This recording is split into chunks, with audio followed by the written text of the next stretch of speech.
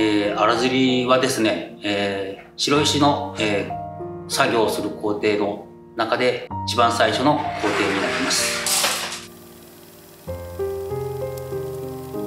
原料の、えー、形を見てもらいますと原料には島目の面と腹の面がありまして原料のですね島目の方こちらが表側になります。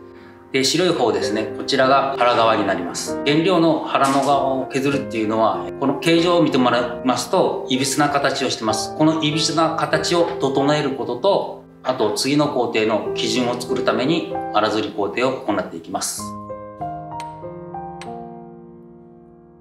えー、この荒刷りが山の高さ厚みがバラバラだと後々の、えー、後の工程の作業に微妙な差が出てきて不良の数が増えてきます。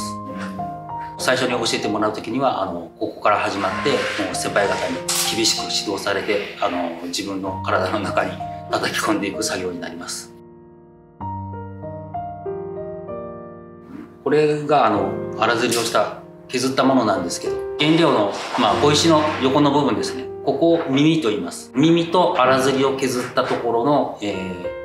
ー、角ですね。この角から山の先端までの高さを山の高さと言います。山の高さを一定にして、えー、形もそうですけど高さと厚みを、えー、揃えていくっていうのがとても大事になってきます。